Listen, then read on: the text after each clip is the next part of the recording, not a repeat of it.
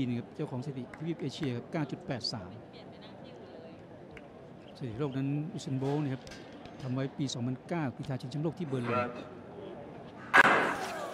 ไม่มีฟาวล์นะครับอ่าครับจีนเฉินเจียเผิงก็ดูเหมือนจะแรงนะครับที่ซากาอิจากญี่ปุ่นครับซากาอิจากญี่ปุ่นแล้วจากมาเลเซียญี่ปุ่นครับซากาอิเข้าเส้นชัยเป็นที่หนึ่งครับ อันดับสองนั้นเป็นวิ่งจากมาเลเซียและก็สามไม่น่ามีอะไรผิดพลาดนะครับเฉินเจย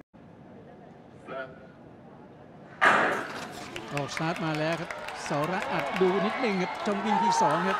ก็ถือว่ามาได้ดีเหมือนกันนะครับแต่ว่าในช่องวิ่งที่สี่ครับจากญี่ปุ่นนะครับ เข้าเส้นชัยเป็นอันดับที่หนึ่งนะครับ